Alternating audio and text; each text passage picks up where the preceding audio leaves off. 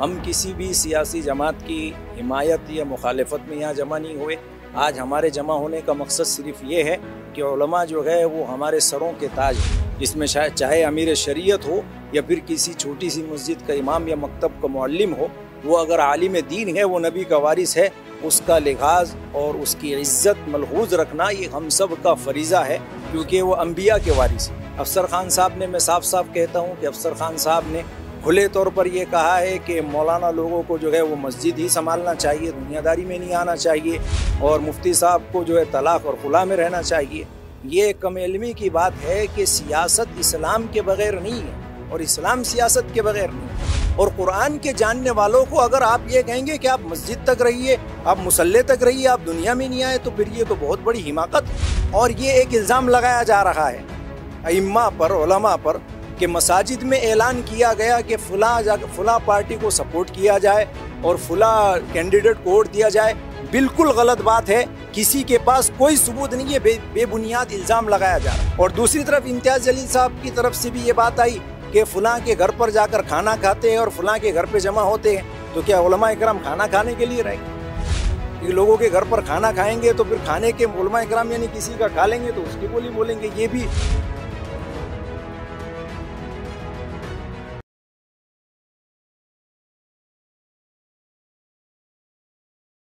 सानी इंटरनेशनल हज उम्र टूर्स एंड ट्रेवल्स हज उम्र जाने के ख्वाहिशमंद हजरात, स्क्रीन पर दिए गए नंबर्स पर कॉल करें। अस्सलाम वालेकुम रहमतुल्लाहि व बरकातुहू आज का ये का मुशावरती इजलास बतारीख़ नौ जून दोपहर में इदारा फजल रब्बी पे मुनद हुआ, जिसकी वजह ये थी कि हमारे शहर अज़ीज़ औरंगाबाद में काफ़ी दिनों से दो मफतूह लोगों के दरमियान जो है रस्सा कशी चल रही थी, लफ्ज़ी जंगें चल रही थी, जिसका शिकार बिरादरी भी हो गई और जिन्होंने जो है उसमें से कहा जाएगा कि उन्होंने जो है की शान में एक किस्म की खुली गुस्ताखी की। दोनों तरफ़ से वो बातें हुई, लेकिन एक जो, एक की तरफ़ से कुछ ज़्यादा हुई, दूसरे की तरफ़ से कुछ कम हुई। हम किसी भी सियासी जमात की हिमायत या मुखालफत में यहाँ जमा नहीं हुए। आज हमारे जमा होने का मकसद सिर्फ़ ये है कि उलमा जो है वो हमारे सरों के ताज हैं। वो नबियों के वारिस है, उनका एक मकाम है, उनका एक वक़ार है, उनका एक मरतबा है। इसमें शायद चाहे अमीर शरीयत हो या फिर किसी छोटी सी मस्जिद का इमाम या मकतब का मुअल्लिम हो, वो अगर आलिम दीन है, वो नबी का वारिस है, उसका लिहाज और उसकी इज़्ज़त मलहूज रखना ये हम सब का फरीज़ा है, क्योंकि वो अम्बिया के वारिस है। तो चंद सियासी लोगों की जानब से इनकी शान में गुस्ताखी की गई। और ऐसे जुमले इस्तेमाल किए गए, जो लोगों ने उसको सुना भी और बहुत सारे लोगों ने उसकी मजम्मत भी की और हम सब पुरजोर उसमें, उसकी मजम्मत करते हैं कि की शान में ऐसे अल्फाज इस्तेमाल अगर कोई करेगा, इसको कोई बर्दाश्त नहीं करेगा। ना इसको बर्दाश्त कर सकते हैं, ना आवाम इसको बर्दाश्त कर सकती है। इसीलिए आज का हमारा मुशावरती इजलास हुआ। इसमें हमने लागे अमल तैयार किया कि क्या करना चाहिए। तो हमारी फ़िलहाल जो है वो जिसने भी की शान में गुस्ताखी की है, चाहे वो अफसर खान साहब हो, चाहे फिर वो दोनों की तरफ़ से अफसर खान साहब ने मैं साफ़ साफ़ कहता हूँ कि अफसर खान साहब ने खुले तौर पर यह कहा है कि मौलाना लोगों को जो है वो मस्जिद ही संभालना चाहिए, दुनियादारी में नहीं आना चाहिए और मुफ्ती साहब को जो है तलाक और खुला में रहना चाहिए। ये कम इलमी की बात है कि सियासत इस्लाम के बगैर नहीं है और इस्लाम सियासत के बगैर नहीं है। हर ज़िंदगी के हर शोबे में हम ओलमा के मोहताज।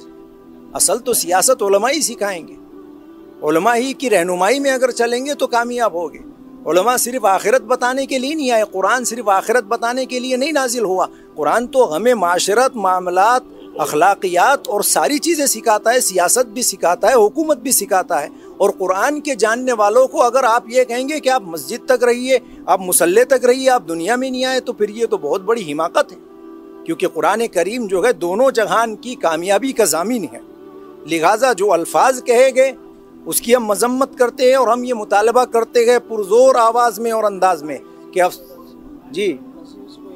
हाँ और ये एक इल्ज़ाम लगाया जा रहा है अम्मा पर ओलमा पर, कि मसाजिद में ऐलान किया गया कि फ़ुला फ़ुला पार्टी को सपोर्ट किया जाए और फ़ुला कैंडिडेट को वोट दिया जाए।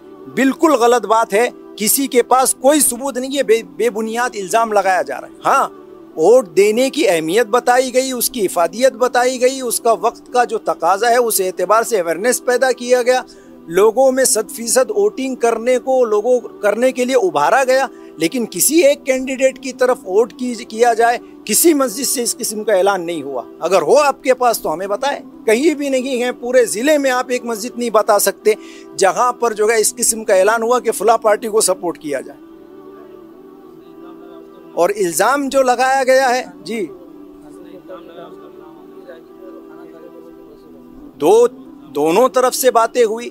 अफसर खान साहब ने जो बात कही कि ये नहीं होना चाहिए, और एक बहुत उनका जो अल्फाज है वो बहुत ही अहमकाना और बहुत ही जो है, उन्होंने कहा कि आइंदा से ये गलती नहीं करना तो क्या मतलब है? यानी आइंदा इकराम जो है, अगर सियासत लोगों के अंदर अगर अवेयरनेस पैदा करते हैं, लोगों को सियासत सिखाते हैं, लोगों की अगर जो है उलमा इकराम रहनुमाई और रहबरी करते हैं तो ये कौन सी बुरी बात है? ये तो उलमा की ज़िम्मेदारी है।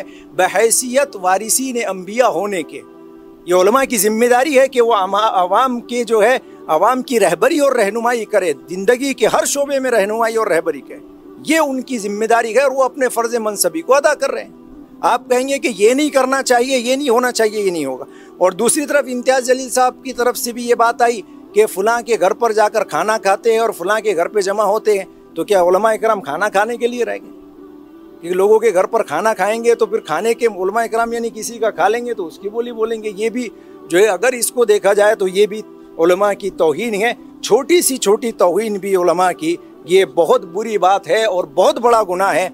और उलमा की इहानत का मरतकब आदमी उलमा ने लिखा है और बड़े बड़े अल्लाह वालों ने लिखा है कि जो उलमा की तोहन करता है, उलमा की तजलील करता है, उसकी कब्र खोद कर देख ली जाए, किबले की तरफ़ से उसका रुख जो है वो फिरा हुआ मिलेगा। और दूसरी बात ये, जो आलिम की तोहन करता है इहानत का मरतकब होता है, उसकी औलाद कभी उसकी फर्मा बरदार नहीं हो सकती। इसकी नस्लें जो है बर्बाद हो जाएगी। तो देखो, आइंदा भी हम एक शहर में रहने वाले हैं, मोहब्बत से, अमन से, प्यार से। हम तो ये चाह रहे थे कि आप जो लोग भी मफतू हुए हैं, ये इलेक्शन है, हार जीत तो लगी रहती है। ऐसा नहीं हो सकता कि सब के सब जीत जाए।